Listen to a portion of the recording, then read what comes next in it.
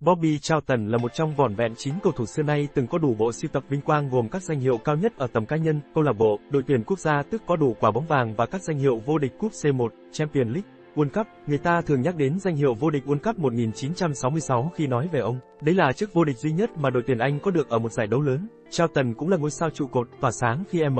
U trở thành câu lạc bộ Anh đầu tiên đoạt cúp C1 châu Âu. Kỷ lục ghi 49 bàn cho đội tuyển Anh của Charlton thì chỉ bị Wayne Rooney và Harry Kane số ngá gần đây, trong thời buổi mà số lần được tuyển của các ngôi sao đã tăng vọt đến những con số không ai dám tưởng tượng vào thời Charlton còn thi đấu. Huyền thoại Bobby Charlton ngoài thành tích, ông còn là biểu tượng của bóng đá Anh và một phần quan trọng trong lịch sử bóng đá, đặc biệt sau thảm họa hàng không Munich 1958. Phi cơ chờ đội M, U gặp nạn, khiến 8 cầu thủ trẻ tài năng của M, U thiệt mạng và sự kiện đó để lại dấu ấn đậm nét trong sự nghiệp của Bobby Charlton và bóng đá Anh. Charlton thì khác, ông được cứu bởi đồng đội Harry Gregg, và sau đó trở thành cầu thủ hạt nhân khi huấn luyện viên Busby xây dựng lại M, U từ đống đổ nát. Thật khó tin nổi, M, U đoạt lại chức vô địch Anh khá nhanh, và đúng 10 năm sau thảm họa Munich thì họ trở thành câu lạc bộ Anh đầu tiên đoạt cúp C1 châu Âu.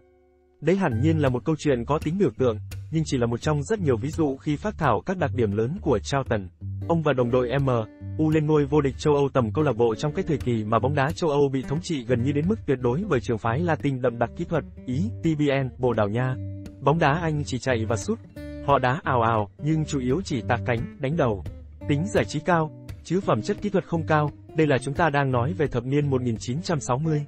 Charlton lại khác, ông có thiên hướng tấn công khi chơi tiền vệ trung tâm, chuyền bóng xuất sắc, tư duy chiến thuật đậm đặc và có cú sút xa thần sầu.